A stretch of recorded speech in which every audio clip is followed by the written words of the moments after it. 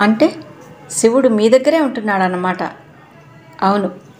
ఇద్దరు వీరభద్రరావు పడుకునే గది ముందు వరండాలో ఉన్న కుర్చీలో కూర్చున్నారు. మధ్యలో లాంతరు.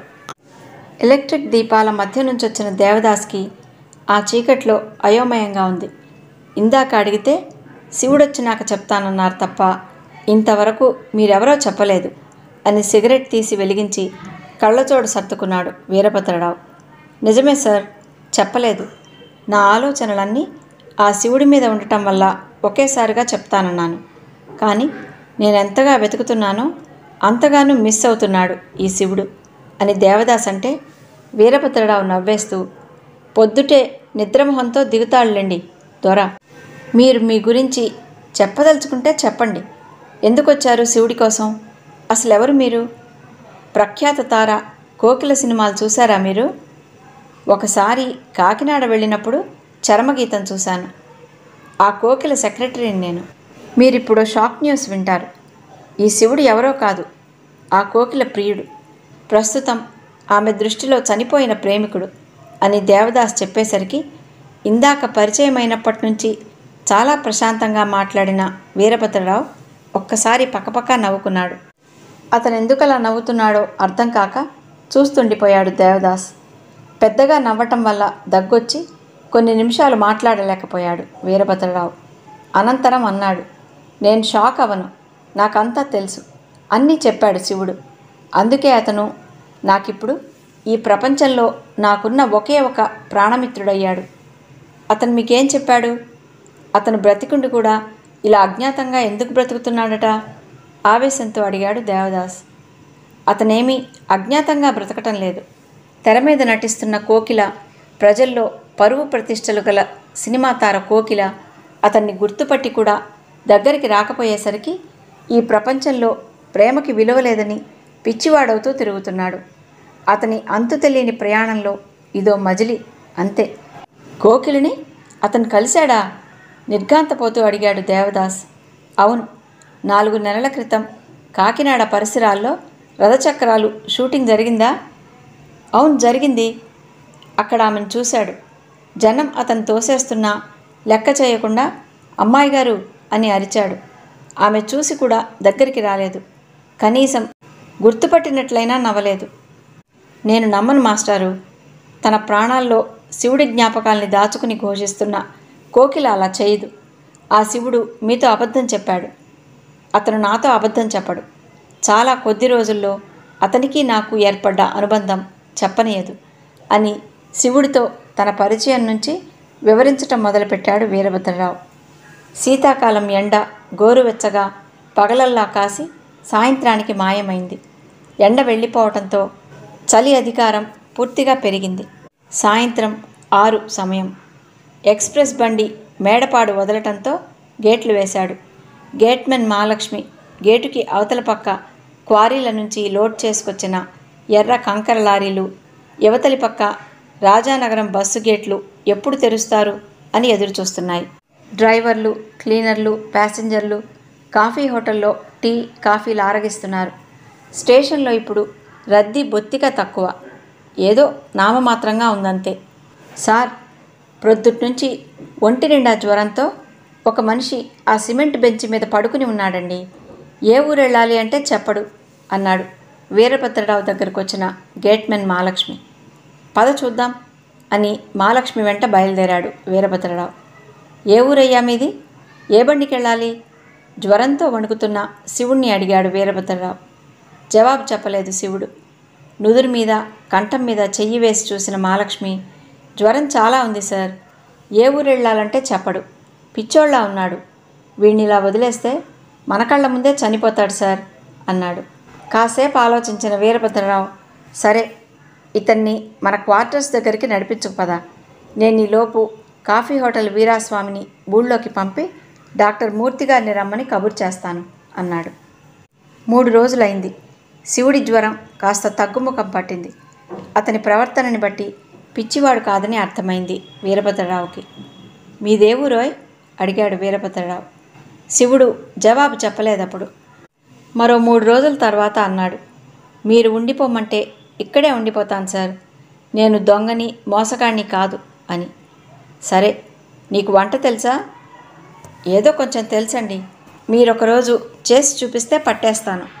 మరో పది రోజులు గడిచాక శివుడి గురించి ఇంకా బాగా అర్థమైంది వీరభద్రరావుకి. అతను తెలివైన వాడే కాక జీవితంలో బాగా దెబ్బతిన్నవాడని అతని మాటల ద్వారా చేష్టల ద్వారా అర్థమైంది. మనిషి ముఖాన్ని చూసి ఉనికిని గ్రహించగల శక్తి వీరభద్రరావుకి బాగా ఉంది. అలా తెలుసుకున్న వెంటనే అడగడు. ఏదో రోజున వాళ్ళకి వాళ్ళు చెప్పుకొని గొల్లును ఏడ్చేస్తారు. స్టేషన్ మాస్టర్గా అలాంటి అనుభవాలు అతనికి కోకొల్లలు. శివుడి విషయంలోనూ అదే జరిగింది. ఒకరోజు అర్ధరాత్రి నిద్రపోతున్న శివుడు హఠాత్తుగా లేచి ఒక మూల కూర్చున్నాడు. నిద్రపట్టక సిగరెట్ కాలుస్తూ పచార్లు చేస్తున్న వీరభద్రరావు శివుడి ప్రవర్తనను వింతగా చూస్తూ దగ్గరకొచ్చాడు. ప్రేమ అంటే అమృతం అనుకున్నాను మాస్టర్ గారు. కానీ అది అమృతం పూత ఉన్న విషం. దాన్ని నమ్మి జీవితం మొత్తాన్ని చీకటి చేసుకున్న గుడ్డివాణ్ణి నేను. శివుణ్ణి కుదుపుతూ ఏమిటి శివుడు? ఏమైంది ఈరోజు? ఈ మాటలేమిటి? అన్నాడు వీరభద్రరావు. శివుడి కళ్ళలోంచి నీటి ధార. ఒక మగాడు ఏడ్చాడంటే వెనక ఎంతటి విషాద ఉద్గ్రంథముందో ఊహించగల వీరభద్రరావు పడుకో శివుడు నిద్రపో అన్నాడు. కానీ శివుడు నిద్రపోలేదు. పగిలిన తన హృదయంలో గతుకుల రాచబాటని అందులో తన మజిలీల్ని వివరించటం మొదలుపెట్టాడు ఆ అర్ధరాత్రి వేళ. వెంకటనారాయణపురంలో తను పగటి వేషగాడిలా అడుగుపెట్టడం నుంచి పసలపూడిలో కాశీరత్నం పరిచయం వరకు చెప్పి ఆ రోజు తిరునాళ్ళలో సోమరాజు రాకతో నిలిపివేసిన అనుభవాలు కూడా చెప్పాడు. ఆ రోజు రోడ్డు మించి వెళుతూ కిళ్ళి వీరన్న హోటల్ ముందు తడికెకి అంటించిన ఒక పోస్టర్ చూసి నిర్విణ్ణుడయ్యాడు. ఏంట్రా శివుడు ఆ చూపులు? అది కొత్త పిల్లలే. సినిమా పేరు చర్మగీతమట. ఇవాళ నుంచే మ్యాట్నీ కూడా ఉందట. రామచంద్రాపురం అన్నపూర్ణ టాకీస్లో. పోతావేంటి? అన్నాడు. హోటల్లోంచి బయటకొచ్చిన వీరన్న కొడుకు కృష్ణ. అతనికి కొంచెం సినిమా పిచ్చి కూడా ఉంది. రామారావు కొత్త సినిమా వస్తే రాజమండ్రి వెళ్ళి మరీ చూసొచ్చి దాంట్లో రామారావు వాడిన కొత్త డ్రెస్ ఉంటే వెంటనే ఆ మోడల్లో కుట్టించేసి ఊళ్ళో అందరికీ పోజ్ కొట్టేస్తుంటాడు. ఏంట్రా మాట్లాడవే? పోదా మా మ్యాట్నీకి? భుజం కుదిపి అడిగాడు కృష్ణ. అలాగే అని శివుడు అనేసరికి కృష్ణకి మతిపోయినట్లయింది. ఎప్పుడు ఆ మగ్గం గోతిలో కూర్చుని ఏడ్చేవాడు సినిమాకి వెళ్దామా అంటే ఊ అన్నాడేమిటి అని ఆశ్చర్యమేసింది. ఆ మధ్యాహ్నం కృష్ణతో మ్యాట్నీకి వెళ్ళాడు అన్నపూర్ణ టాకీస్కి. జనం గొడవ. సినిమా ఎంతకీ మొదలవదు శివుడి గుండెల్లో ఆరాటం. ట్రైలర్లు ఇండియన్ న్యూస్ రివ్యూలు చూపిస్తున్నారు తప్ప మెయిన్ పిక్చర్ స్టార్ట్ చేయడం లేదు. వెళ్ళి ఆ ఆపరేటర్ని తన్నాలన్నంత ఆవేశం పుడుతోంది. హాలు బాగా నిండాక అప్పటికి అసలు సినిమా మొదలైంది. శివుడి గుండెలు కొట్టుకుంటున్నాయి. వళ్ళంతా చెమట. మూడవ రీల్లో డ్యాన్స్ డ్రెస్లో కోకిల దర్శనమిచ్చింది. విప్పిన కన్ను మూయకుండా ఆమెనే దీక్షగా చూస్తున్నాడు. సందేహం లేదు. ఆ తెర మీద కనిపించే ఆమె అమ్మాయి గారే. పొద్దుట ఆ పోస్టర్ చూసి సందేహిస్తూ వచ్చిన తనకి ఆమె అమ్మాయి గారే అని స్పష్టంగా తేలిపోయింది. అమ్మాయి గారు అని ఆవేశంగా అరవటంతో ముందు నాలుగు వరుసలు వెనుక నాలుగు వరుసల జనం శివుడికేసి అదిరిపడి చూశారు. రై ఏంట్రా అరుపు? పిచ్చెక్కిందా? డొక్కలో పొడుస్తూ తిట్టాడు కృష్ణ. శివుడు ఇక కూర్చోలేకపోతున్నాడు. ఒళ్ళంతా చెమట్లు. హాలు బయటకొచ్చేశాడు. కృష్ణని అడిగాడు శివుడు ఆ అమ్మాయిది వెంకటనారాయణపురమేనా? అని. ఆ ప్రశ్నకి పకాలను నవ్వేసి ఇంకా నయం పునాదిపాడా అనలేదు. దానిది మద్రాస్ రా. పిల్ల కొత్తదైనా అదరగొట్టేసిందనుకో ఈ సినిమాతో చాలా పెద్ద యాక్టర్ అయిపోయింది. ఎలాగైనా ఆమె అడ్రస్ సంపాదించరా? ఏంటి అభిమాన సంఘం పెడతావా మనూళ్ళో? ఒరేయ్ మా రామారావు సంఘానికి పోటీ రాకండ్రోయ్ మాడి మసైపోగలరు. నాకు ఆమె అడ్రస్ సంపాదించి పెట్టాలి. చూద్దాంలే. రేపు రామచంద్రాపురం వెళ్ళినప్పుడు యాక్టర్ల కొత్త సినిమా డైరీ కొనుక్కొస్తాను అన్నాడు కృష్ణ. ఒకరోజు అడ్రస్ సంపాదించి ఇచ్చిన మరికొన్నాళ్ళు పోయాక ఒరేయ్ కాకినాడ దగ్గర సర్పవరంలో మీ అభిమాన నటి షూటింగ్ జరుగుతుందట్రా అన్న వార్త చెప్పిన కృష్ణకేసి ఆశ్చర్యంగా చూసి నిజమా? అన్నాడు. ఇదేదో పెద్ద విడ్డూరంలా చెప్తాడేంట్రా? ఇప్పుడు సినిమాలన్నీ మద్రాసులో తీస్తున్నారనా నీ ఉద్దేశం? అన్నీ మన రాజమండ్రి కాకినాడల దగ్గరే లాగేస్తున్నారు. ఆమె బయటకు వచ్చిందా బోడి మీ యాక్టర్ రావడానికేంట్రా? ఆ మధ్య యానంలో ఎదురీత సినిమా షూటింగ్కి మా రామారావే వచ్చాడు అని కృష్ణ పగలబడి నవ్వేశాడు తన ధోరణిలో. మర్నాడు ఉదయమే కపిలేశ్వరపురం టు కాకినాడ బస్ ఎక్కాడు సర్పవరం రైల్వే స్టేషన్ చాలా చిన్నది. జనంతో నిండిపోయి ఉంది. మండు టెండలో హోరాహోరీగా షూటింగ్ జరుగుతోంది. స్టేషన్లో ఆగే రైళ్ళ దగ్గరికి వెళ్ళి మజ్జిగ అమ్ముకునే వేషం కోకిల్ది. పోలీసులు జనాన్ని వెనక్కెళ్ళమని లాఠీలతో బాదుతున్నారు.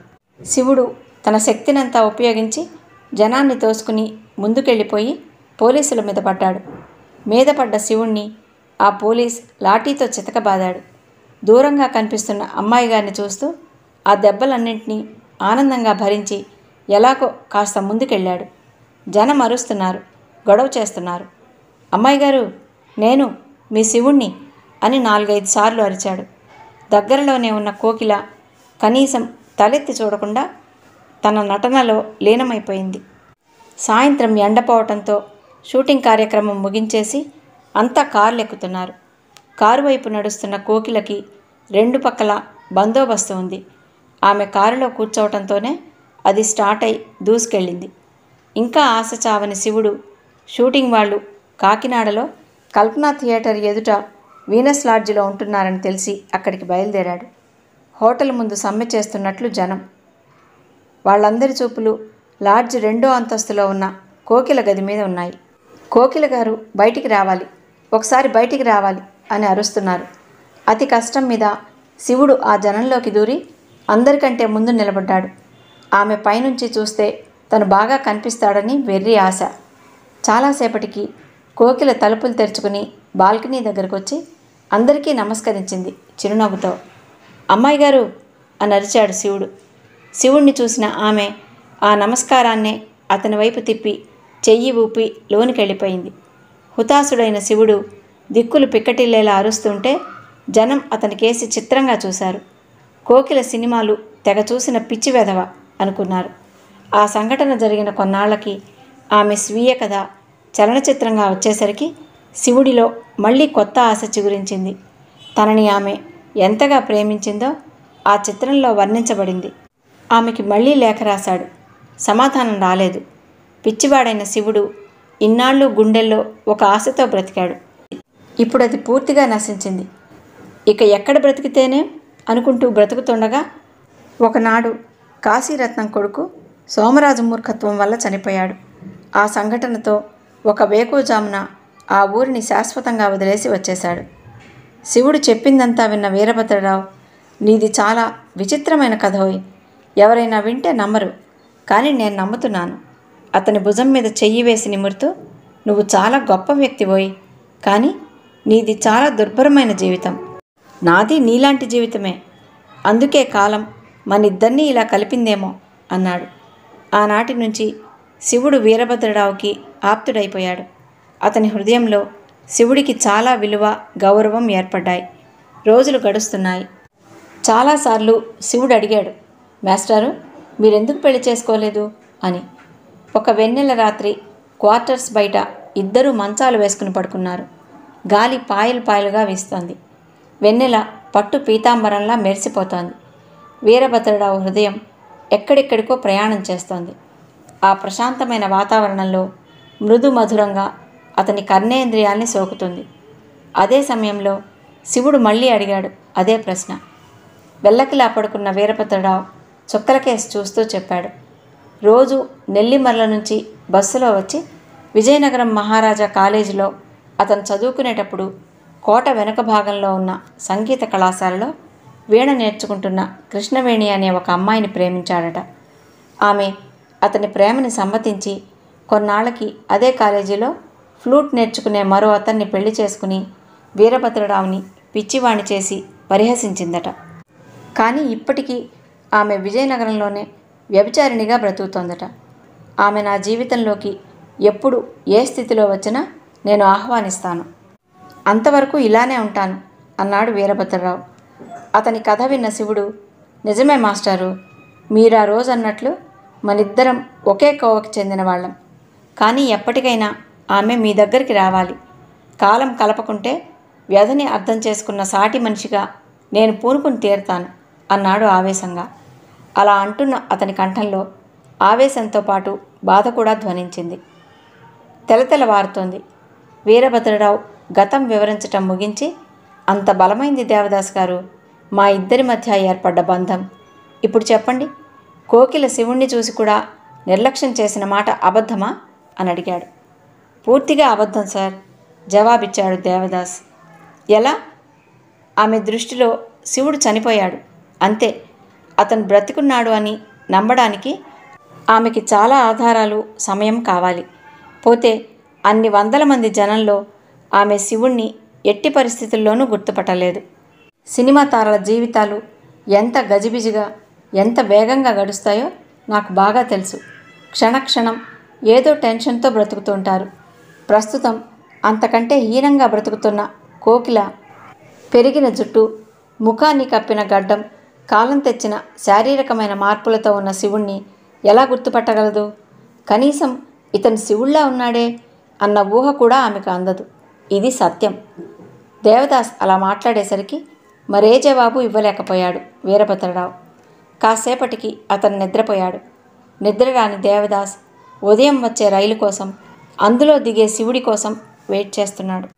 ఏవిఎం స్టూడియో డబ్బింగ్ థియేటర్లో పది రోజుల క్రితం షూటింగ్ ముగించుకున్న ఒక కొత్త చిత్రం డబ్బింగ్ జరుగుతోంది. దాంట్లో కథానాయిక కోకిల. మైక్ ముందు నిలబడి ముందు తెర మీద కదిలే పాత్రల పెదవుల కదలికకి అనుగుణంగా గాత్రధారణ చేయాలి. అరగంట క్రితమే వచ్చి మూడు లూపులు చెప్పిన కోకిల లూప్ కట్ చేయమనండి నాకు తలనొప్పిగా ఉంది అని మైక్ ముందు నుంచి విసుగ్గా లేచొచ్చి కుర్చీలో కూలబడింది. ఆ సినిమా రిలీజ్ ఆ నెలలోనే బిజీ హీరోయిన్ కోకిల దగ్గర నుంచి చాలా కష్టాలు పడి తీసుకోగలిగారు డబ్బింగ్ కాల్ షీట్. ఉదయం తొమ్మిది గంటల నుంచి రాత్రి తొమ్మిదిలోపు సినిమాలో ఆమె క్యారెక్టర్ మొత్తం డబ్బింగ్ పూర్తి చేయాలనే తాపత్రయంతో ఉన్నాడు ప్రొడ్యూసర్. అరగంట అయింది. ఆమె తలనొప్పి పెరిగిందే కానీ తగ్గలేదు. ఈమెకి తలపోటు ఎప్పుడు తగ్గుతుందిరా భగవంతుడా అని తలపట్టుకుని బాధపడుతున్నాడు ప్రొడ్యూసర్. అంతలో ప్రొడక్షన్ మేనేజర్ వచ్చి ఆమె మూడవుట్ కావడానికి కారణం రోజు ఆమె కూడా తిరుగుతున్న ఆ రాఘవరావు గారు ఈరోజు లేకపోవడమే. అది సంగతి అని రహస్యంగా చెప్పాడు. మరైతే అతనింటికి కారు పంపి తీసుకురండి అన్నాడు ప్రొడ్యూసర్. వేగంగా రాఘవరావు కోసం వెళ్ళిన కారు గంటన్నరలో అతన్ని తీసుకుని వచ్చి థియేటర్ ముందు దింపింది. రాఘవరావుని చూడగానే హుషారుగా లేచింది కోకిల. ఆమెకి కొండంత రిలీఫ్. అతని పక్క నుండి కబుర్లాడుతుంటే మనసు గాల్లో తేలుతున్నట్లుంది. కాఫీ తాగుదామా? అన్నాడు. "ఆ," అంది. మరో పది నిమిషాల్లో ఆమె మైక్ ముందుకొచ్చి లూప్ వేయమనండి అంది. ఆమె ప్రవర్తనకి ప్రొడ్యూసర్ విచిత్రంగా నవ్వి పక్కనున్న ప్రొడక్షన్ మేనేజర్తో అన్నాడు. ఈమెకి ఇదెక్కడి పిచ్చయ్యా? తెలుగుదేశంలో లక్షాధికారుల కొడుకులు ఈమెకి పాదాభివందనం చేస్తామని ప్రాధేయపడుతుంటే ఈ ముసలాన్ని పట్టుకుని ప్రాకులాడుతుందేమిటి? ఏమో సార్ ఈమెకి నిజంగా పిచ్చెక్కిందంటున్నారు కొందరు. మొన్న ఊటీ అవుట్డోర్ వెళ్తూ ఇతన్ని కూడా తీసుకెళ్ళిందట. ఇద్దరు ఒకే కాటేజ్లో ఉన్నారట. ఇది చిత్ర విచిత్ర ప్రపంచమే కానీ ఈమె ప్రవర్తన మటుకు ప్రపంచ విచిత్ర చిత్రమయ్యా. ప్రొడ్యూసర్ జోక్కి ప్రొడక్షన్ మేనేజర్ నవ్వేశాడు బలబల. షూటింగ్ నుంచి కోకిల ఇంటికొచ్చేసరికి హాల్లో కూర్చుని లీలా జయ రమణకుమార్తో మాట్లాడుతూ కనిపించారు. కోకిల డ్యాన్స్ ప్రోగ్రామ్స్ విరమించుకున్నాక ఆమె పేరు ఉపయోగించుకుని కాస్త బిజీ డ్యాన్సరే అయింది జయ. ఆ మధ్య ఒకటి రెండు సార్లు కోకిలకి ఫోన్లు కూడా చేసింది. గతం తాలూకు జ్ఞాపకాలు మనసులో ఉన్న నవ్వుతూనే అడిగింది కోకిల. బాగున్నారా అని. ఏదోనమ్మా నీతో విడిపోయిన తర్వాత ఆర్థికంగా బాగున్నా ఆనాటి తృప్తి ఆనందం కరువయ్యాయి. ఏదో పోగొట్టుకున్న బాధని గొంతులో ధ్వనింప చేస్తూ అంది లీల. ఎంతసేపైంది వచ్చి? అని అడిగి వాళ్ళకెదురుగా కూర్చుంది. ఒక గంట అయింది నువ్వు ఇక షూటింగ్ నుంచి వచ్చేస్తావని రమణ చెప్పింది. అందుకని కూర్చుండిపోయాం. అంది జయ. ఏదైనా పని మీద వచ్చారా? అడిగింది కోకిల. ఏం లేదమ్మా కేవలం నిన్ను చూద్దామనే ఉద్దేశంతోనే వచ్చాం. అంతే ఆప్యాయంగా అంది లీల. చాన్నాళ్ళుగా కోకిల పోరుతుంటే ఆ రోజు పెరంబూర్లో ఉన్న తన ఇంటికి తీసుకువెళ్ళాడు విజయరాఘవరావు. కొత్తగా కట్టిన ఒక మేడ ముందు కారాపమని దిగి కోకిలను తీసుకుని గేటు దగ్గరకు వచ్చాక చెప్పాడు. దీన్ని మా పెద్దబ్బాయి ఈ మధ్య కట్టాడు అని. లోనికి వస్తుంటే అక్కడ ఆడుకుంటున్న పది పన్నెండేళ్ళ వయసు పిల్లల్లో ఒక కుర్రాడు ప్లాస్టిక్ గన్లో రాళ్ళు వేసి డిషూమ్ అని నోటితోనే శబ్దం చేసి దాని ట్రిగ్గర్ నొక్కాడు. రాయొచ్చి రాఘవరావు నడుంకి తగిలింది. వెనక్కి తిరిగిన రాఘవరావు తప్పురా బడవా అని తిట్టి కోకిలతో నవ్వుతూ అన్నాడు. మా మనవడు వెధవ వీడిది నా పేరే అని. ముందుకు నడుస్తుంటే మరో రాయొచ్చి రాఘవరావు తలకి తగిలి బొటబొట రక్తం కారింది. కర్చీఫ్తో తుడుచుకుంటూ వెధవా తప్పన్నానా అని నవ్వుతూ ఆమెను లోనికి తీసుకువెళ్ళాడు. వీడు మా చిన్నబ్బాయి వాసుదేవరావు డన్లప్ కంపెనీలో పనిచేస్తున్నాడు. ఈమె వీడి భార్య శాంత. వీళ్ళ స్వంత ఊరు భీమవరం. పెద్దవాడి కాపురం పైన అని పరిచయాలు చేస్తుంటే రాఘవరావు కొడుకు కోడలు విడ్డూరంగా చూస్తున్నారు కోకిలకేసి. ముసలాయన సినిమా తార కోకిల వెంట తిరుగుతున్నాడని విన్నారిన్నాళ్ళు. అలాంటిది ఆమెను తమ వెంట తీసుకొచ్చాడు ఈరోజు. ఈయన వయసు ముదిరే కొద్దీ కుర్రతనం పెరుగుతోందా ఏ? అలా ఉన్నాయి వాళ్ళ ఆలోచనలు. అలా నిలబడతావేమ్మా? కాఫీ పట్రా కోకిల గారికి అన్నాడు. ఇప్పుడు ఎక్కడి నుంచి వస్తాయండి పాలు? అని మొహం మీదే అనేసింది ఆమె. ఆ విషయం చాలా తేలిగ్గా తీసుకున్న రాఘవరావు నవ్వుతూ రండి పైకి పెద్దాడి ఇంట్లో తాగుదాం అని మెట్లెక్కుతున్నాడు. కోకిల అనుసరించింది. మా పెద్దాడు పేరు గోవిందరావు. అని రాఘవరావు పోలికలతో లావుగా ఉన్న ఒక నలభై ఏళ్ళ వ్యక్తిని పరిచయం చేసి కోడలు లేదా అని అడిగాడు. మార్కెట్కి వెళ్ళింది విసురుగా సమాధానమిచ్చాడు గోవిందరావు. తండ్రి మీద అతనికి చాలా విసుగ్గా అసహ్యంగా ఉంది. తన వయసువాడు చెయ్యడానికే సిగ్గుపడే పనులు అతను చేస్తున్నందుకు. అంతలో ఒక ముప్పై ఐదేళ్ళ ఆమె కూరగాయల బుట్టతోనూ ఇందాకటి గేటు దగ్గర కుర్రాడితోనూ లోనికొచ్చింది. ఈమె మా కోడల ఊర్మిళ. వీరు కోకిల గారు అని పరిచయం చేశాడు. ఊర్మిళ కోకిలతోనే మాట్లాడుతుంది తప్ప రాఘవరావు కేసి చూడ్డానికే చిరాకు పడుతుంది. రాఘవరావు మనవడు అతని పొట్టలో బలంగా పొడిచి కరాటే స్ట్రోక్ బాగుందా తాత? అన్నాడు. బాధని భరించిన రాఘవరావు నవ్వేసి తప్పురా నాన్న వెళ్ళి ఆడుకో అన్నాడు. ఇది ఆటేగా? అని ఇంకా ముందుకొస్తున్న కుర్రాణ్ణి తన్ని తరిమాడు గోవిందరావు. కాసేపు అయ్యాక మీ గదెక్కడా? అని అడిగింది కోకిల. రండి అని కూడా తీసుకువెళ్ళాడు. ఇంటి వెనక ఉన్న అవుట్ హౌస్ తలుపులు తెరిచి ఇదే మన ప్యాలెస్ అన్నాడు నవ్వుతూ. ఇదా? అంది ఆశ్చర్యంగా. ఆ మేడలో ఉన్న మోడర్న్ ఫర్నిచర్ కానీ గోడలకున్న ఖరీదైన రంగులు కానీ దీంట్లో లేవు. ఒకే ఒక్క గది ఒక పాతకాలం మంచం రెండు కుర్చీలు అలమారులో రకరకాల పుస్తకాలు తప్ప మరేం లేవు. అవన్నీ చూసిన కోకిలకి రాఘవరావుకి ఆ ఇంట్లో ఏమాత్రం గౌరవ మర్యాదలు లేవని అర్థమైంది. అతని మీదెంతో జాలి దయా కలిగాయి. ఇటు చూడండి అన్నాడు నవ్వుతూ. అతను చూడమన్న తలుపు వెనుక భాగాన కోకిల డ్యాన్స్ ప్రోగ్రాంకి సంబంధించిన రకరకాల అడ్వర్టైజ్మెంట్ కటింగ్స్ అంటించబడి ఉన్నాయి. దినపత్రికల్లో పడ్డ కోకిల ఫోటోలు వాటిలో చాలా ఉన్నాయి. ఒక ఆల్బమ్ చూపించి ఇవన్నీ మీరు యాక్ట్ చేసిన సినిమాల్లో స్టిల్స్. ఆ ప్రొడక్షన్ ఆఫీసుల చుట్టూ తిరిగి సాధించాను. మీ స్వీయ చరిత్రని మొత్తం బైండ్ చేయించాను. అతని చేష్టలకి నవ్వొచ్చింది ఆమెకు అన్నీ చిన్నపిల్లలు చేసే పనులు. చాలామంది చిన్నప్పుడు తీర్చుకోలేని కొన్ని కోరికలు వార్ధక్యంలో తీర్చుకుంటారట. అలాంటివాడే ఈ రాఘవరావు అనిపించింది. ఇక వెళ్దామా? అంది కోకిల. అలాగే. సారీ మీకు కప్పు కాఫీ ఇవ్వలేకపోయాను. బాధగా అసహాయుళ్ళా అన్నాడు రాఘవరావు. కోకిల మళ్ళీ నవ్వేసి పర్లేదు బయట తాగుదాను రండి. అంది. బయట తాగొచ్చు కానీ అది నా ఆతిథ్యంలో జమ కాదు. వీళ్ళకి రెక్కలు వచ్చిన దగ్గర నుంచి నన్ను పరాయివాణ్ణి చేసేస్తున్నారు. నా అతిథికి కాఫీ ఇమ్మని ముష్టివాళ్ళు అడగాల్సిన స్థితి ఏర్పడింది. జరిగిన అవమానానికి జీవితంలో మొదటిసారిగా కొడుకుల మీద కోపం ప్రదర్శించాడు రాఘవరావు. మహల్లో కోకిల మద్రాసులో కూడా రిలీజ్ అయి గొప్ప సంచలనాన్ని సృష్టించింది. అన్ని భాషల వాళ్ళు అన్ని తరాల వాళ్ళు విరగబడి చూస్తున్నారు. ముఖ్యంగా యువతరం. దేవి ప్యారడైజ్కి ఎప్పుడు వెళ్ళినా ఇరవై రోజులకి అడ్వాన్స్ బుకింగ్ అయిపోతుంది. ఎక్కడ విన్నా ఇదే పేరు. తమిళ పత్రికల నిండా ఈ చిత్రం తాలూకు రివ్యూలే. ఆ చిత్రంలో కోకిల కట్టిన నెమలికంఠం రంగు చీర గాజులు ఇక్కడ కూడా ఫ్యాషన్ అయి కూర్చుంది. ఆ షూటింగ్ చేసిన లొకేషన్స్కి యాత్రాస్థలంగా చూడడానికి వెళ్తున్నారు. గతంలో షోలే సినిమాకి ఇదే విధంగా జరిగిందట. బెంగుళూరు ప్రాంతాల్లో షూట్ చేసిన షోలే లొకేషన్స్కి జనం వెళ్ళి వెర్రెత్తినట్లు చూసొచ్చేవారట. ఆ క్రేజ్ మళ్ళీ ఒక తెలుగు చిత్రానికి వచ్చిందని రాస్తున్నాయి పత్రికలు. కోకిల ఇంటి మీద పడే జనం సంగతి ఇక చెప్పక్కర్లేదు. కానీ ఆమె పూర్వంలా ఇప్పుడు అశాంతితో కొట్టుకోవటం లేదు. షూటింగ్ లేనప్పుడు రాఘవరావుతో జనం ఎవరూ గుర్తుపట్టని ప్రదేశాల్లో సంచరిస్తుంది.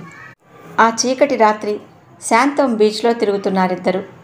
కోకిల వెలుబుచ్చిన అభిప్రాయానికి నోట మాట రాకుండా ఉండిపోయిన రాఘవరావు చాలాసేపటికన్నాడు మీరు చాలా పొరబడుతున్నారు కోకిల. మీరంటే నాకున్న అభిమానం. ఈ ప్రపంచంలో ఎవరి మీద లేదు. మీకోసం ఏమైనా చేస్తాను. కానీ మీ జీవితాంతం నేను ఉండలేను నా వయసు అరవై దాటింది. మహా బ్రతికితే పదేళ్ళు. ఈ పదేళ్ళైనా మీరు నాతో అన్ని సుఖాల్ని అనుభవించలేరు. ముఖ్యంగా శారీరక సుఖాలు. నేను వీటన్నిటికీ చాలా దూరంగా ఉన్నాను. శారీరకమైన వాంఛలు నాలో ఏనాడో అంతమయ్యాయి. వాటి ప్రసక్తే అక్కర్లేదు. ఇక నాకు కావలసింది శాంతి. అది మీ దగ్గర దొరికినంత సమృద్ధిగా ఈ ప్రపంచంలో ఇంకెక్కడా దొరకదు. కేవలం శాంతి కోసం నేను మిమ్మల్ని కోరుకుంటున్నాను. పెళ్ళి చేసుకోవాలనుకుంటున్నాను. బాగా ఆలోచించండి. కొడుకులు నా గురించి పట్టించుకొని కారణంగా గాలికి తిరుగుతూ శేష జీవితాన్ని గడుపుతున్న నేను మీకు పనికిరానని నా ఊహ. మిమ్మల్ని పెళ్ళి చేసుకోవడానికి ఎందరో యువకులు ఇప్పుడు సిద్ధంగా ఉన్నారు. నేను అందరు స్త్రీలలా మామూలు జీవితాన్ని కోరుకుంటే ఇంకెవరినైనా సౌందర్యవంతుణ్ణి పెళ్ళి చేసుకోవడానికి సిద్ధపడేదాన్నేమో. ఇప్పుడు అలాంటి వాణ్ణి చేసుకున్నా వాళ్ళు నా గ్లామర్ డబ్బు కీర్తి చూసి చేసుకుంటారు తప్ప నా మీద సానుభూతితో దగ్గరికి రారు. ముఖ్యమైన విషయం ఏమిటంటే మరో మగాడి శరీరం నా శరీరానికి వాంఛతో తగలకూడదు. అది నేను ఎంతమాత్రం సహించని విషయం. నా శివుడు ఎంగిలి చేసిన ఈ పెదవుల్ని అతనికే అంకితమిచ్చాను. వీటిని మరొకడు తాకకూడదు. అందుకేనండి కోరికలు దిగిన మిమ్మల్ని చేసుకుంటాను అంటున్నాను. సుదీర్ఘమైన కోకిల జవాబుకి రాఘవరావు ఇక జవాబు చెప్పలేదు.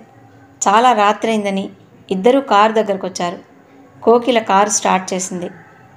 లక్షలాది యువకుల హృదయాల్లో నిద్రిస్తున్న ప్రముఖ తార రాజవంశీయురాలైన కోకిల తన అందాల శరీరాన్ని స్వప్న జగత్తు లాంటి జీవితాన్ని ఒక వృద్ధుడికి దారపోస్తుంది అతను కోకిల కొన్నాళ్ళుగా పరస్పరాభిమానాలతో సుందర ప్రదేశాలు చుడుతున్న వార్తలు గతంలో అందించాం.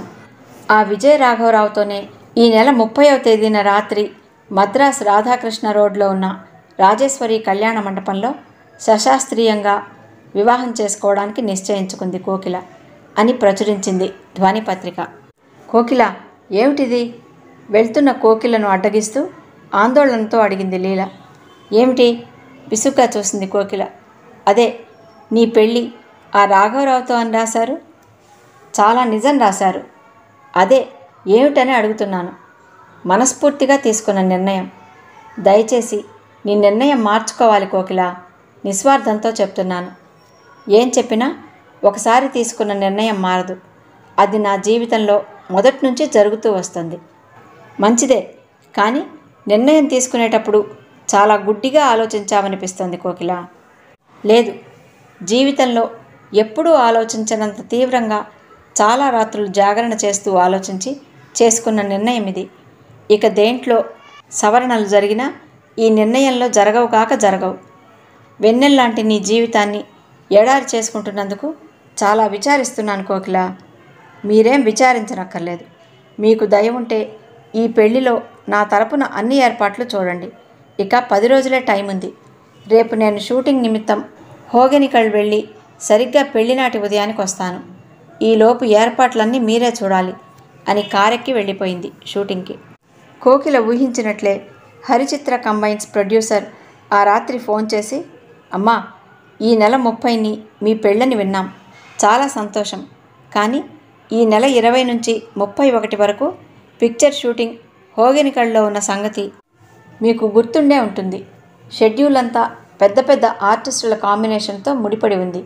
మీరు రాకుంటే చాలా అవస్థలకు గురవుతాను అన్నాడు భయంగా. కోకిల నవ్వేసి మీరేం భయపడకండి. పెళ్ళి పెళ్ళే షూటింగ్ షూటింగే. నేను నా షూటింగ్కి అటెండ్ అవుతాను. కానీ ముప్పై ఉదయానికి నేను మద్రాసులో ఉండేలా ఏర్పాటు చేయండి. ముప్పై ఒకటి తేదీన నేను ఉండటం లేదు కాబట్టి ఈ లోపుగానే డే అండ్ నైట్ వర్క్ చేసి ఫినిష్ చేసుకుని వస్తాను అంది. ఆమె జవాబుకి ఆ ప్రొడ్యూసర్ రక్షించిందిరా దేవుడా అనుకుని అలాగేనమ్మా అలాగే అని నమ్రతతో ఫోన్ పెట్టేశాడు. ఆ ఉదయం ఆగిన ప్యాసింజర్లో దిగే శివుడి కోసం దేవదాస్ కళ్ళు గాలిస్తున్నాయి. శివుడు దిగలేదు. రైలు వెళ్ళిపోయింది. సాయంత్రం రాత్రి ట్రైన్స్లో కూడా శివుడు రాకపోవడంతో దేవదాస్ విసిగిపోయాడు. నిరాశ దైన్యం ముఖంలో కొట్టొచ్చినట్లు కనబడుతున్నాయి. నాకేం అర్థం కావటం లేదు. నిన్న రాత్రి రావలసిన వాడు ఇంతవరకు అంతులేడు. ఏమయ్యాడబ్బా? సాలోచనగా అని కళ్ళద్దాలు తుడిచిపెట్టుకున్నాడు వీరభద్రరావు. నేను వెళ్తాను ఆ సామర్లకోట స్టేషన్కి అన్నాడు దేవదాస్. సామర్లకోట వెళ్ళనక్కర్లేదు. నేను ఇప్పుడొచ్చే నైన్ డైన్ ప్యాసింజర్లో మనిషిని పంపుతున్నాను అన్నాడు వీరభద్రరావు. పెళ్ళిన మనిషి మర్నాడు ఉదయం బండిలో వచ్చి శివుడు మొన్న సాయంత్రం బండిలో వెళ్ళిపోయాడని చెప్పారు అసిస్టెంట్ స్టేషన్ మాస్టర్. అనటంతో దేవదాస్ నిలువునా కూలిపోయాడు. మీరేం వర్రీ కాకండి దేవదాస్ అతను ఎక్కడికి వెళ్ళినా నా దగ్గరికి వచ్చి తీరుతాడు. నన్ను విడిచిపోడు అని హామీ ఇచ్చాడు వీరభద్రరావు. ఎక్కడికి వెళ్ళి ఉంటాడు? అన్న దేవదాస్ ప్రశ్నకి చాలా తీవ్రంగా ఆలోచించి నా అంచనా ప్రకారం విజయనగరం అని నిట్టూరుస్తూ జవాబిచ్చాడు వీరభద్రరావు. విజయనగరమా? అంటే కృష్ణవేణి ఇంటికా? సందేహం లేదు. అక్కడికే వెళ్ళి ఉండాలి. అయితే నేను వెంటనే బయలుదేరతాను. నిశ్చయంగా అన్నాడు దేవదాస్. లేదు అతను సాయంత్రానికో రేపటికో తప్పకుండా వస్తాడు. నా నమ్మకాన్ని వమ్ము చేయడు. లేదు సార్ నా కాలు నిలవటం లేదు. నా టెన్షన్ మీకు అర్థం కాదు. నేను వెళ్తాను. దయచేసి ఆమె చిరునామా ఇవ్వండి నాకు అని లేచి నిలబడ్డాడు.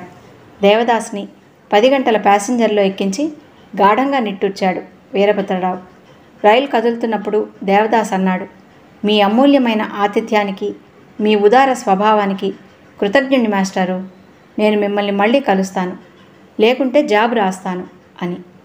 రైలు వేగం పుంజుకుంది. చెయ్యి ఊపుతున్న వీరభద్రరావు పోను పోను దూరమై అనంతరం మసగ్గా కనిపించి రైలు మలుపు తిరగటంతో మొత్తంగా మాయమయ్యాడు. సామర్లకోటలో దిగి వైజాగ్ వెళ్ళే ఎక్స్ప్రెస్ ఎక్కి అక్కడి నుంచి విజయనగరం ప్యాసింజర్కి మారాడు దేవదాస్.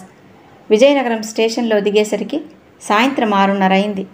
నాలుగు ప్లాట్ఫారాలున్న స్టేషన్ అది. రాయ్పూర్ టిట్లాగర్ రాయగఢ్ వెళ్ళాలంటే ఆ జంక్షన్లో దిగి రైలు మారాలి.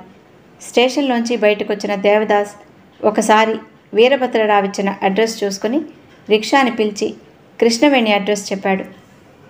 కృష్ణవేణి పేరు విన్న ఆ రిక్షావాడు ఓ గమ్మత్తైన నవ్వు నవ్వుకుని ఎక్కండి అన్నాడు. రిక్షా స్టేషన్ దాటింది. ఊరు చాలా పెద్దది.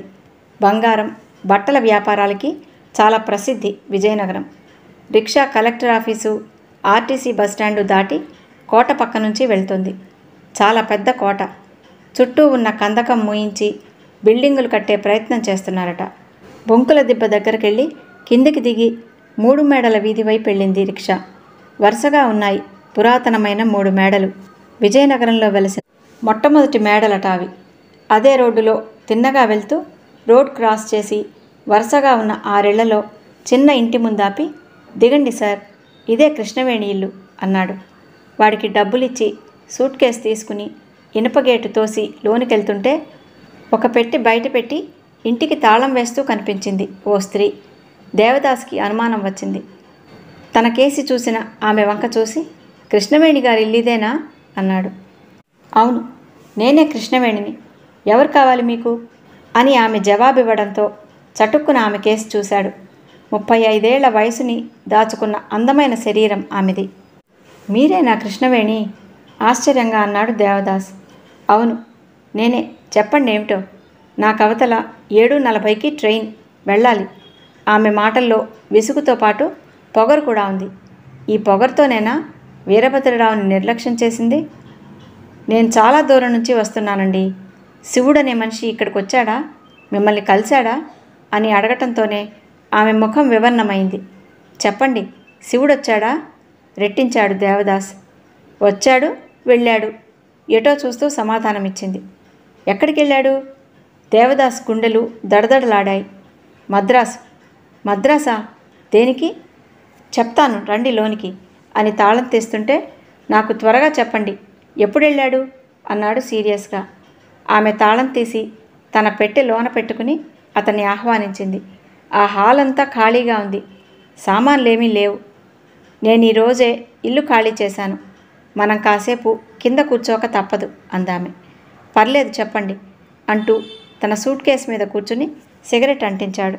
నిన్న తెల్లవారుజామున వచ్చి మధ్యాహ్నం మెయిల్కి మురుగేశన్ కూడా మద్రాసు వెళ్ళాడు అంది నేల మీద చతికిలబడ్డ కృష్ణవేణి. మద్రాసు ఎందుకు వెళ్ళాడు? మురుగేశన్ ఎవరు?